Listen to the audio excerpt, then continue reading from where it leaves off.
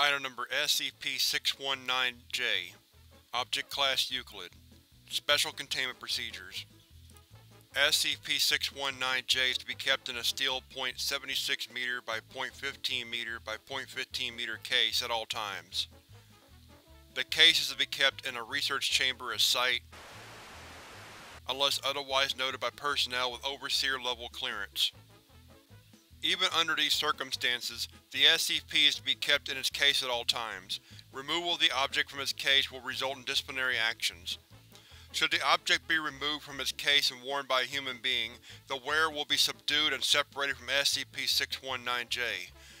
Any D-Class subjects wearing the SCP may be subdued by lethal force.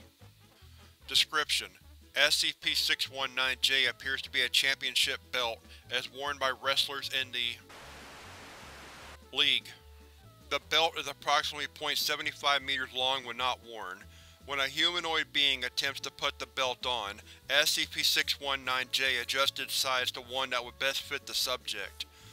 The crest at the front of the belt is constructed of a plastic made to look like solid gold. The crest is emblazoned with ornate patterns and the words Championship. When worn by a human, the wearer will undergo a personality change. Subject will become increasingly violent when presented with even the slightest grievances. Subject will become boisterous and aggressive, often developing an incredible overconfidence in their strength. Despite this, wearing SCP-619-J does not seem to cause any physical changes. All physical prowess exists only in the wearer's mind. Addendum 619-J-01 The circumstances of SCP-619-J's acquisition follow below. Acquisition SCP-619 was retrieved on 19 from one Mr. Andre. There have been several reports of attacks by what was believed to be a supernatural creature around the area that Mr. lived. While the operatives deployed had at first only meant to question Mr. They were soon forced to subdue him when it was discovered that the subject, while wearing SCP-619-J, attacked them. During interrogation, the subject admitted to having been a customer of Marshall Carter and Dark, and was behind a strange series of attacks. When he discovered that SCP-619-J had been taken from him, subject expressed relief claiming that that damn thing got annoying after a while. Addendum 619-J02 The following is an excerpt from an interview between Dr. McCallum and D regarding SCP-619-J. Interviewed, D. Interviewer, Dr. McCallum. Forward. I hope to find out exactly what effects, if any, this SCP has on the human mind. Assisting me, D. will be asked to wear SCP-619-J partway through our interview. Dr. McCallum. Begin log. Dr. McCallum. This is my first experiment to determine the effects that SCP-619-J has on the human psyche. Assisting me is D. Wait, what? This isn't what we agreed to? So how do you feel? You didn't say you were going to experiment on me. There are sounds of a struggle for several seconds, during which glass can be heard breaking. There is a sound of papers rustling, after which the interview continues. I ask again, how do you feel? I feel fine, I do not have glass in my eyes. Excellent, now let's begin. D is fitted with SCP-619-J. After D removes their shirt, the interview continues. Alright, this time with the belt on. How do you feel? D voice has undergone significant change. He speaks much more roughly, screaming at the top of his lungs.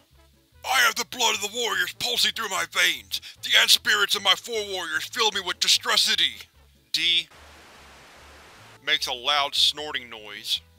Interesting. Tell me, what do you see? I see the screams of a thousand normals. Now you must deal with all unpleasantries. Wait, me? I will break your spine until your children are in pain. That doesn't even make… He is cut off by a scream from the subject. There are sounds of a struggle and several screams from Dr. McCallum. D is quickly subdued and separated from SCP-619-J. End log. Closing statement. After being separated from SCP-619-J, D claimed to have been under the delusion that he was standing in a wrestling ring surrounded by a cheering audience. Dr. McCallum has put through a request for D to be terminated. Request denied. Don't be a jerk just because a guy put you in a half Nelson. O5.